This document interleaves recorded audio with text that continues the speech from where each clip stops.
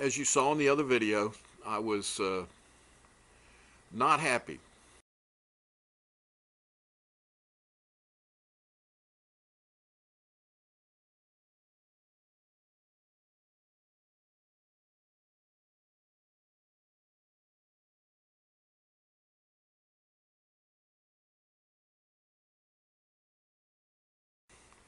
The box on the top is almost identical in shape to the box that I bought, a white wax nuke box. Uh, it's a heavier duty box. If you recall, I said something earlier about getting an old vegetable box or a chicken box. Uh, that box on top is actually just a tad longer than the box on the bottom. So I will still have to cut somewhat of a slot. But uh, I did learn a couple of things doing that bottom one that will help me with the top one.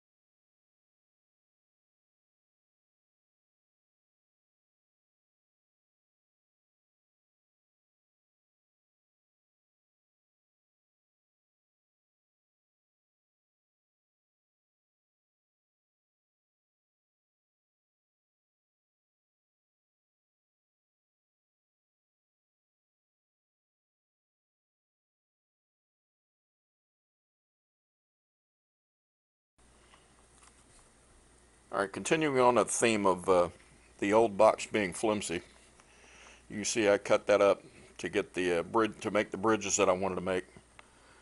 I had the whiteboard here already. I had previously bought it, so uh, if I had taken several layers of that cardboard and uh, taped them together or something, it probably would have done the same thing. But I'm I'm I'm trying to save some time now. We're about to have some really warm weather here, and I want to get this thing outside.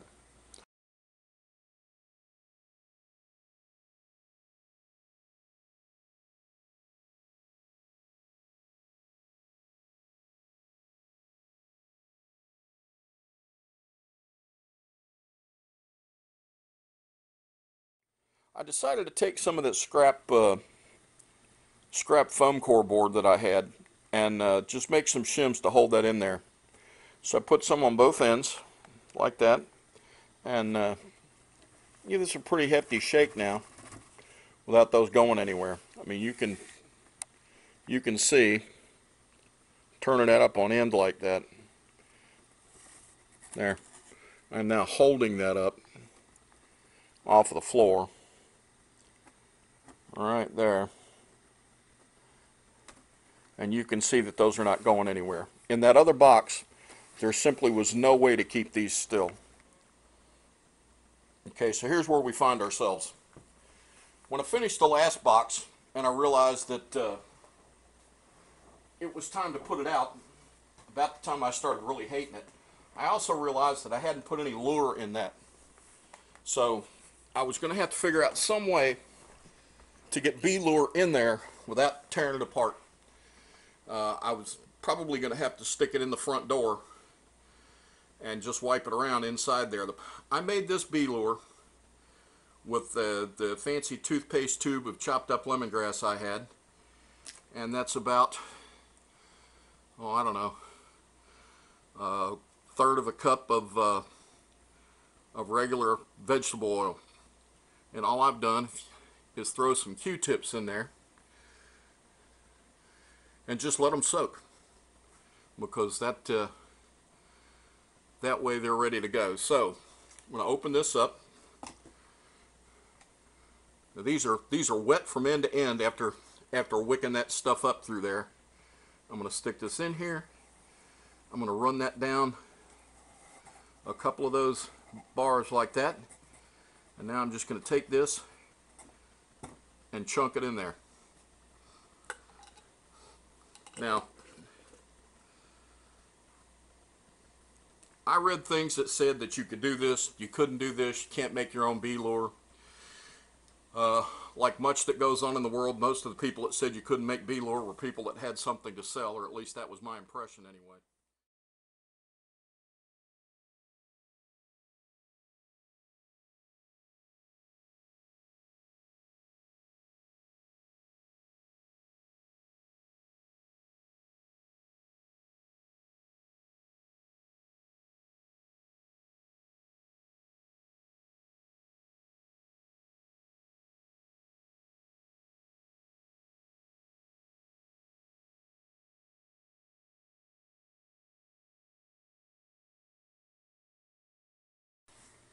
Okay, so let me pull this out of here and show you how I cut that.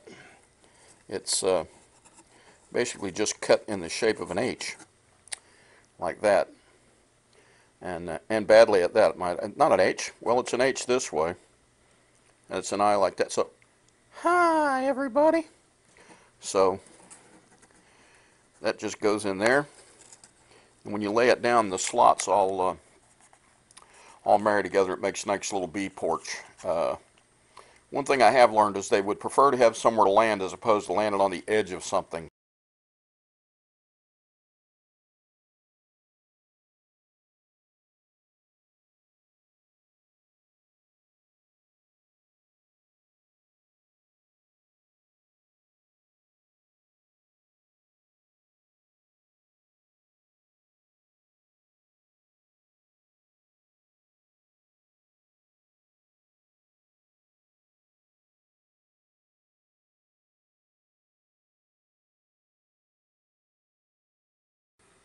One of the things I was worried about on doing any of this was uh, the possibility of bees getting in and out of uh, the top of just a, a cross-hatched box like through that.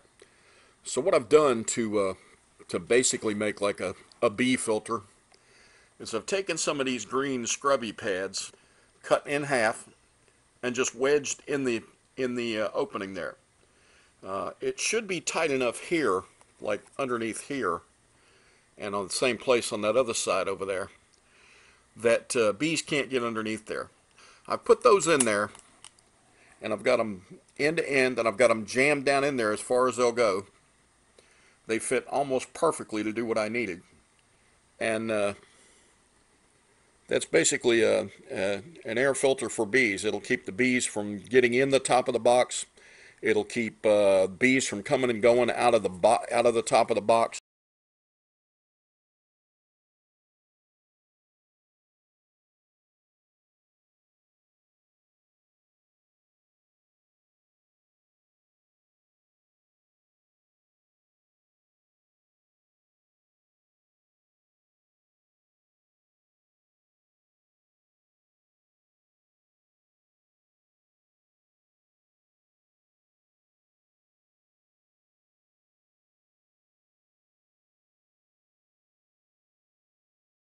The last thing I've got to do is put the plastic on there and put the uh, end gutters on so that the ends of the boxes don't get wet.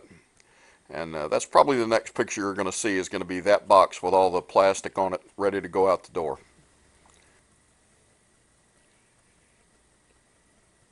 So there it is. Finished. My baby. As you can see, I've taken the uh, old-fashioned antique idea of taking pictures of a first new baby on a sheepskin rug. I know that I'm not rich. I know that I don't live on Nob Hill, but so that's it. That's the end of it. You've seen the videos. Now you've seen the actual box. The next trick will be getting it outdoors and getting it hung in a tree and uh, we'll just have to wait for that because I don't have any help to get me down the hill across the creek, find a tree, and all that kind of stuff today. Everybody in my family is tied up. Anyway, that's it. Uh, questions, anybody? Uh, send them through the either our group website, you know who you are, or ask them right here on the uh, on the YouTube, as uh, some of the older people among us say. Y'all have a good one. That's Steve-O signing out. No more for me about the cheap SOB swarm box. Not until we have bees in it anyway.